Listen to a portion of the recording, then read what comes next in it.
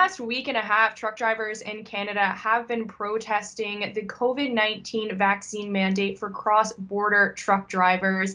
Mike Kucharski, thank you so much for joining me today. I first want to kick us off just by getting your thoughts on these protests and uh, what you expect to happen over the next couple of days. Samantha, thank you for having me on your show again. So yeah, what's happening at the border is called uh, the Freedom Convoy 2022. Uh, it's Canadian truckers protesting to uh, protesting to mandate freedom. Uh, it's it's it's heartbreaking what was happening in Canada. All, all the truckers are protesting are, are family people the government is is is you know smearing their name, calling them you know hateful, violent, which is it's not true. These are family people. Instead of working supporting their families, they have to protest to show the world what they're doing for the supply chain. You know, trucking is a, a lifestyle, uh, and they love what they do. You know, these truckers are driving 11 hours a day per uh, isolated in their cab by themselves. These truckers are not the problem. You know, they they are not super spreaders and they had enough of the mandates, overregulation, and the overstep of the government. You know, just to give you an idea, there's still not enough capacity on both sides, and Canada is one of our biggest uh, trading partners. The U.S. does only two 520 billion dollars in traded goods with Canada per year, 21 billion dollars worth of food we uh, import into Canada from the U.S. You know, both both countries are still trying to dig themselves out of this black hole called COVID has created. And we're very close to the point of emergency. You know, this is not going to end well.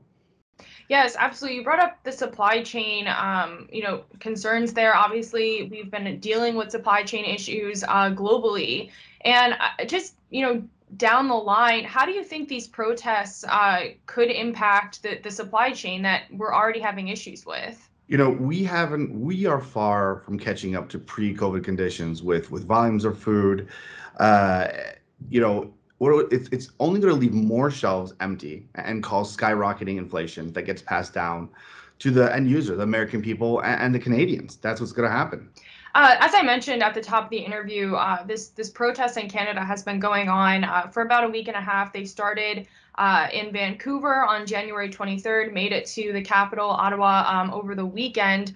Do you think the Canadian government will make any sort of, um, uh, I guess, will give in at all? Will they make any sort of um, compromises with these protesters, or do you think it will be essentially comply or you can't work anymore?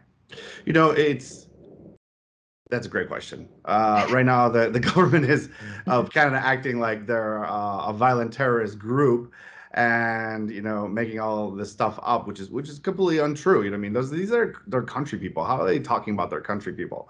But right now, they're not uh, budging. But uh, let's see what happens after a week, after two weeks, or three weeks, uh, because I, I think with these truckers, they were short truckers, and these truckers parked is only going to take away from the supply chain, mm-hmm. and food's going to start running out very, very soon.